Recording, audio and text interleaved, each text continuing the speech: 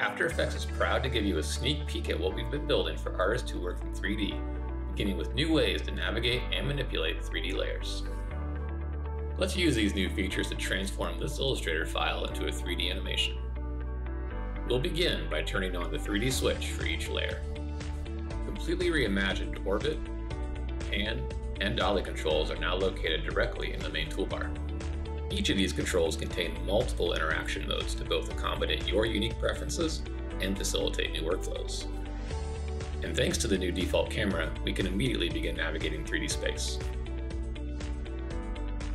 We've also integrated new camera hotkeys to make navigating a 3D scene like this even faster. And once you're ready to start framing your shot, add a new camera to your scene by selecting View and Create Camera from 3D View. This will create a new camera on your timeline based on your current perspective. Next, select a 3D layer to reveal the powerful new Universal Transform gizmo.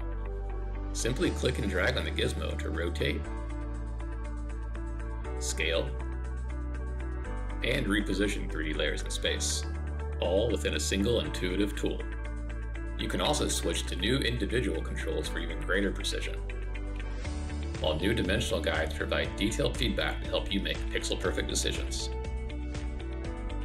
Together, these new camera and transform controls will add speed and versatility to your 3D workflows. Try out these new features and more in the latest beta release of After Effects.